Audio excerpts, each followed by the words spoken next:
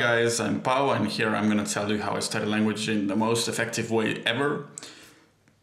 It's using Assimil and Anki. Assimil are these little books that are super good. I'm using it for Portuguese and uh, Russian. For Finnish, for example, I bought uh, Teach Yourself series, but I do prefer Assimil better.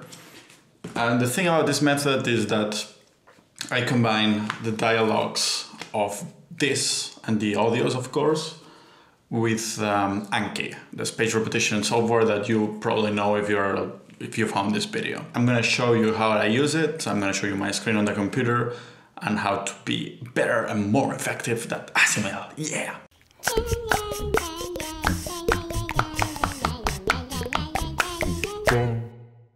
So here's my Assimil. I've already did Russian of the day and I have let Portuguese go over some Finnish, uh, sorry, some uh, Swedish.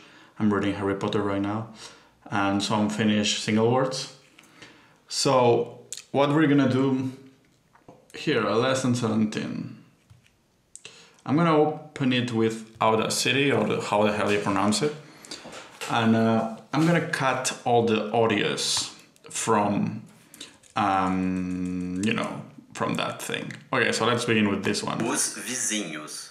I have no idea what it means, but looking at the lesson 17, it means the neighbors, which is similar to Spanish now that I realized, los vecinos. So I'm gonna cut only this part, create a new one with city and save it.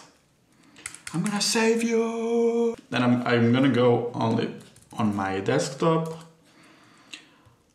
and then I'm gonna create a new flashcards. Os vizinhos. Os vizinhos. Uh, and it's written like this. Um, los vecinos. I'm using Spanish for Portuguese as a vehicular language. Do you say it like that? Anyways, because it's way too, too similar, not for doing it in English, and I'm Spanish. So. Boom, we already have one flashcard, but actually it created two flashcards because it's gonna show in Portuguese Spanish and Spanish Portuguese the next day actually. So a good thing is like to know the shortcuts without a city out a city so that way oh, always it doesn't take time. You've seen how with os vecinos it didn't take almost anything of time. So next one, let's see. Mãe, este é o Ricardo, nosso novo vizinho. Okay, so it lasted till here. And I'm gonna keep doing this. This is from the dialogue. So each line, each one's translation, and I'm gonna put it into the flashcard. So I'm gonna keep doing that till I get bored, no, till I finish the lesson. So let's keep doing it. I'm gonna save it. I'm gonna show you this one also to see how it works. And then flashcard. Mãe, este é o Ricardo, nosso novo vizinho. And I'm gonna check that it's actually oh, nuestro nuevo vecino. Okay. And when the flashcard, I'm gonna keep doing that, of course, for the whole lesson. And when the flashcards are done, I'm just gonna press study now. For example, I don't remember this word. That's why I put it with one hyphen. I know that as duas passagens, but this is, uh, fuck, I don't remember. O passaporte está aqui. Mas cadê as duas passagens? Oh yeah, so I'm gonna put A again. passagem está na minha mala. So the ticket is in my um, mala. It's uh, maleta in Spanish, which is like a bag in English. A passagem está na minha mala. This was easy. I actually omit the easy button. I always put good, hard, or again, because um, it works better for me that it pops up um, on Por time. favor, Quem queremos comprar uma mala para a nossa lua de mel. Queremos comprar uma maleta para Por nossa favor, queremos comprar uma mala para a nossa lua de mel. Então, Vamos marcar um encontro na frente do cinema Carmen Miranda. Então, Vamos marcar okay, um next one.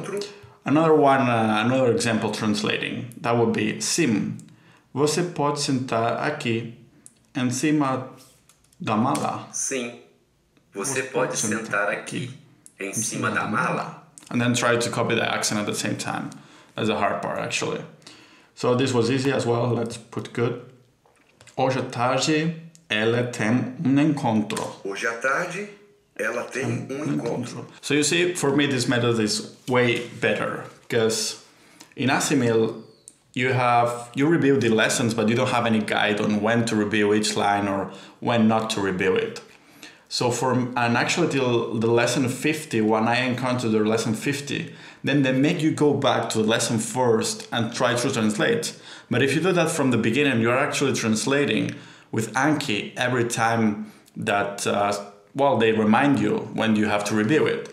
So, for example, lesson pop uh, uh, one is not going to pop up till a lot of time because for me it was easy, but it's good that after two months you review it again, right?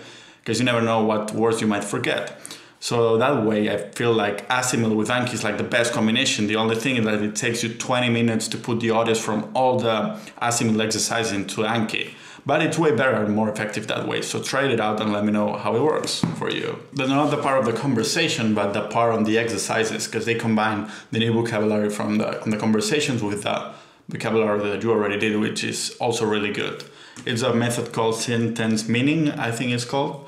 So combining that with uh, sentence repetition, it's super good. Also, I'm gonna show you what I do actually. I cut the whole conversation of the exercise, okay? Um, I create a new audio, and this is from lesson 17. Great. So the next thing I do is actually I grab this audio, audio, I mean, then I go to my other deck called Portuguese uh, Lesson Review. I create a new flashcard Mãe, este é o Ricardo. and put lessons Nosso on. It's a whole conversation, okay? Como? But the thing is that these uh, flashcards are not bi-directional, just like the normal Assimil um, conversations that I use for translating. These flashcards, they just show lesson 17 and when I press space button, it shows the, um, it plays the audio. So what I do is, that's why you can see here that there's just seven. Sometimes there's actually one or two lessons to review actually. But when I do study this, for example, it says lesson three. So I go back to the lesson three and um, it'll let you translate. Uh, so I translate the conversation, like covering myself the Portuguese stuff, and I uh, translate from Spanish to Portuguese. But also I go over the little grammar points like very fast, so it sticks something. And as well here, the translations from the little lines and exercises, I do them all.